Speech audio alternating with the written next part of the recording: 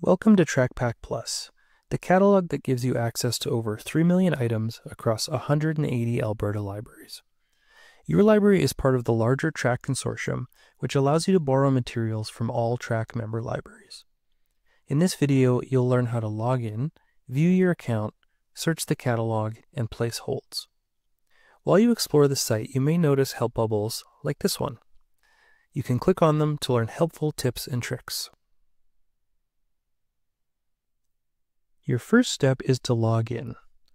Click the Login button in the top right corner of the screen.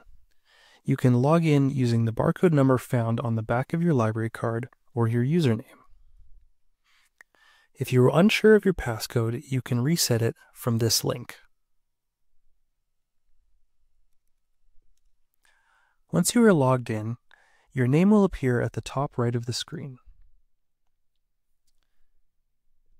Click on your name to see more information about your account, including your checkouts, holds, fines and fees, and when your library card expires.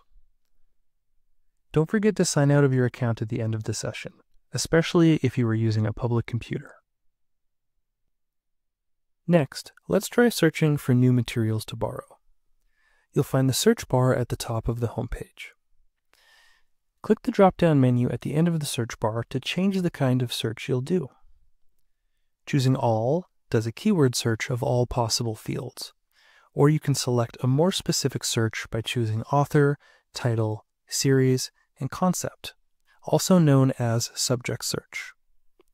For example, here's a concept search for cookbooks.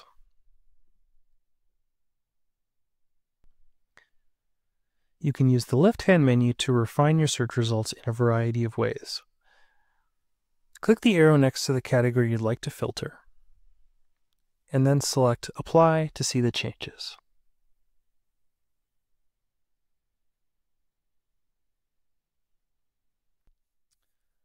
Let's look at another search. You'll notice that all of the formats of the same title are grouped together neatly. It shows at a glance which items are available and where you can find them. If a format or item is available, you can see that it will be marked in green with a check mark. When an item is not available, it will be marked in red with an X. Even if an item is marked not available or checked out, you can still place a hold on it. You may just need to wait for the item to become available again.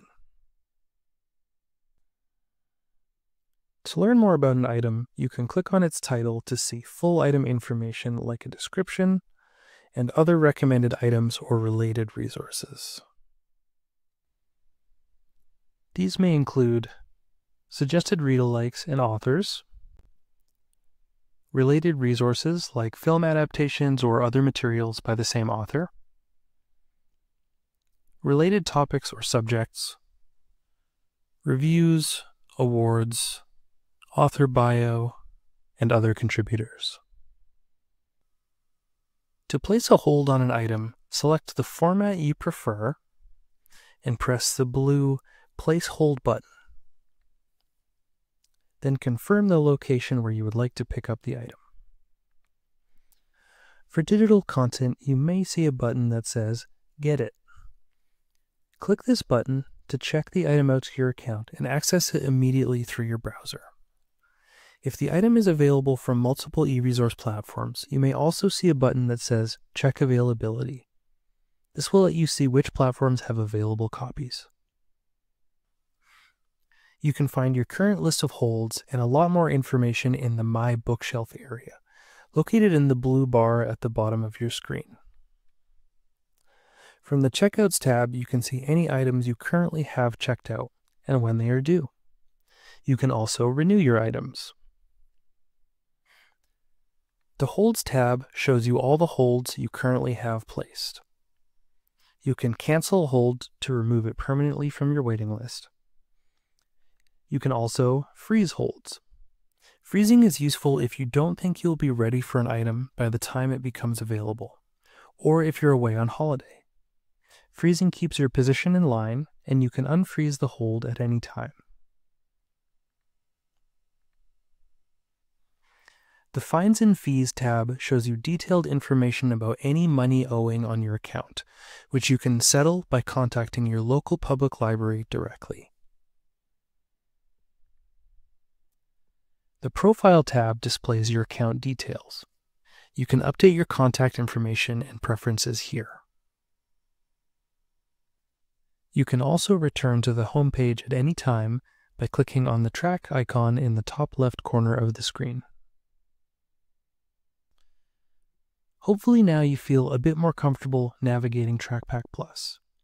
If you run into trouble, on the top of every page you'll see a question mark icon. This takes you to a useful help site with articles you can search. If you want to up your skills in TRACpac Plus even more, check out our follow-up video on its advanced features. Thanks for watching.